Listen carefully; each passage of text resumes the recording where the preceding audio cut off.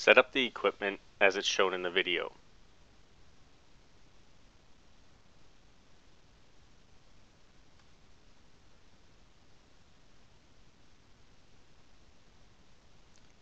The method you use to attach the ticker tape timer is up to you, as long as it's attached securely and will not fall.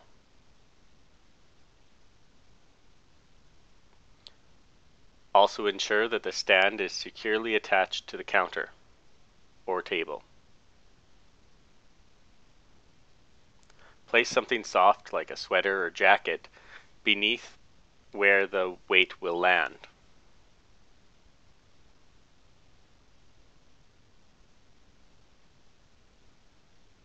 Tear off a length of ticker tape that is approximately as long as the timer is high off the ground.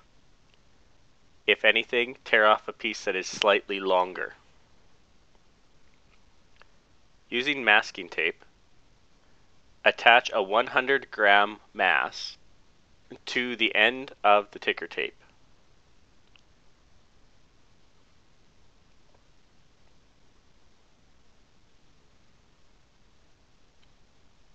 Ensure that it is attached straight so the mass hangs straight below the ticker tape.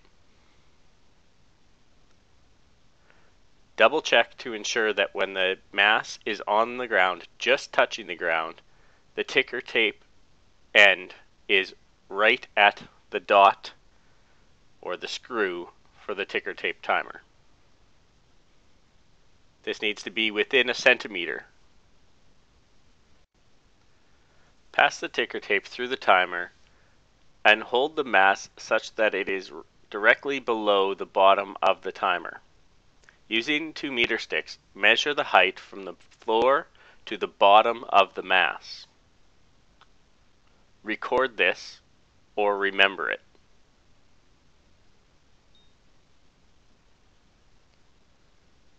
Starting with the mass in the position you measured it in, turn on the timer and drop the mass.